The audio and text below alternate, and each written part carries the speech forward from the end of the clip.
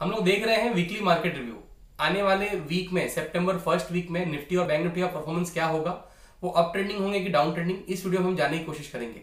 और साथ ही साथ, हमने अगस्त मंथ में अपने पोर्टफोलियो पे क्या गेन किया और फ़र्स्ट वीक ऑफ़ सितंबर में हम कौन कौन से स्टॉक्स बाय कर सकते हैं, ये भी हम इस वीडियो में जानेंगे. नमस्कार, मैं अजीत सिंह, स्वागत करता हूँ ठाकुर कैपिटल में. अगर हम बात करें निफ्टी की तो निफ्टी बहुत ही अप ट्रेंडिंग है और बैंक निफ्टी ने भी तकरीबन बहुत अच्छा साथ दिया है. लास्ट वीक में, जो निफ्टी है वो पाँच परसेंट के तकरीबन प्लस रहा पूरे वीक में, और जो बैंक निफ्टी है वो थर्टीन परसेंट से भी ज़्यादा प्लस रहा। बहुत से बैंकिंग स्टॉक्स में उसने अच्छा परफॉर्मेंस दिया। हमने अपने लास्ट वीडियो में वीकली मार्केट रिव्यू के, उसमें डिस्कस किया था कि कैसा परफॉर्मेंस होगा निफ्टी और बैंक निफ्टी दोनों का। आप देख सकते हैं।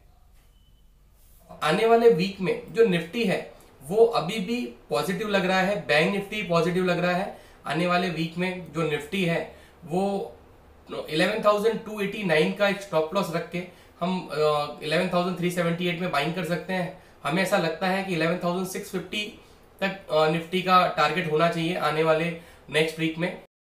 निफ्टी और बैंक निफ्टी अभी भी दोनों बहुत ही एग्रेसिव लग रहे हैं। अभी भी बाइंग अपॉर्चुनिटी प्रॉपरली है। मैं आपको रेकमेंड नहीं करूँगा निफ्टी और बैंक निफ्टी शॉर्ट करने की सलाह नहीं दूँगा।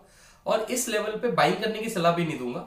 निफ्टी में अगर एक देखूँ तो एक साइकोलॉजिकल लेवल ट्वेल्व थाउज़ेंड के करीब हमें दिखता है कि निफ्टी शायद टच कर ले।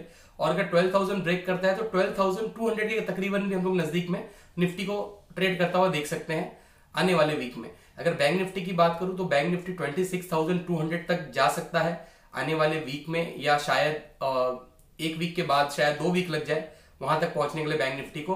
तो मैं आपको सलाह नहीं दूँगा निफ्टी और बैंक निफ्टी बाइंग करने की इस लेवल पे या शॉर्ट करने की इस लेवल पे। क्योंकि अगर हम लोग निफ्टी या बैंक निफ्टी अभी अगर बाई करेंगे तो हमारा जो स्टॉप लॉस है वो काफ़ी ज़्यादा होगा नीचे के लेवल पे। तो हम लोग अभी वेट एंड वॉच की सिचुएशन में है। हम लोग सिर्फ़ देखें निफ्टी और बैंक का परफॉर्मेंस क्या है और पहले के हमारे पास अगर शेयर्स हैं तो उसमें ज़्यादा से ज़्यादा प्रॉफिट बुक करने की कोशिश करें। हम अगस्त मंथ का प्रॉफिट एंड लॉस दिखा रहे हैं, जिसमें आप प्रॉपरली देख सकते हैं। हमको हमारे डेढ़ लाख के कैपिटल पे सेवन ज़ीरो डबल सिक्स, सात हज़ार छाछठ रुपये नेट में प्रॉफिट मिला है। मीन्स ये होता है डेढ़ लाख पे four point seven four percent. मतलब हमने अगस्त मंथ में आप ऊपर स्टेटमेंट चेक कर सकते हैं, एक अगस्त से ट्वेंटी नाइन अगस्त तक का स्टेटमेंट है और अभी हमारे पास ब्रिटानिया, अल्ट्राटेक सीमेंट और यूपीएल, ये तीन शेयर्स की पोजीशन ओपन है। जो हम, जो हमारे पास अभी ब्रिटानिया के पाँच शेयर अल्ट्राटेक के पच्चीस शेयर और यूपीएल के अस्सी शेयर हमारे पास पेंडिंग है, जो हम लोग नेक्स्ट वीक में कैरी कर रहे हैं और उसमें हम लोग उसमें profit and loss next week में देखेंगे। आने वाले वीक में सितंबर के फ़र्स्ट वीक में 2020 में हम लोग कहाँ कहाँ बाइंग अपॉर्चुनिटी देख सकते हैं। हमने ये इसमें अपडेट किया है, जैसे बजाज फाइनेंस है बैंक निफ्टी प्रॉपरली पॉजिटिव है एचडीएफसी लिमिटेड है एचडीएफसी बैंक है आई बैंक है। निफ्टी भी पॉजिटिव है और अल्ट्राटेक सीमेंट इसमें हम लोग बाइंग अपॉर्चुनिटी देख सकते हैं। इसके पहले आप अपना भी स्टडी कीजिए प्रॉपरली देखिए। उसके बाद ही हमारे रिकमेंडेशन पे जाना। ये आप वॉच कर सकते हैं प्रॉपरली कि इसका परफॉर्मेंस आने वाले वीक में कैसा होगा। ये प्रॉपरली आप देख सकते हैं। वीडियो स्टॉप करके भी आप देख सकते हैं अच्छी तरह कौन कौन से स्टॉक्स हमने दिए हुए हैं आपको। अगर स्टॉक मार्केट से रिलेटेड हम थोड़ी सी भी इन्फॉर्मेशन अगर आपको दे पा रहे हैं, थोड़ी सी नॉलेज दे पा रहे हैं तो हमारे चैनल को सब्सक्राइब करें।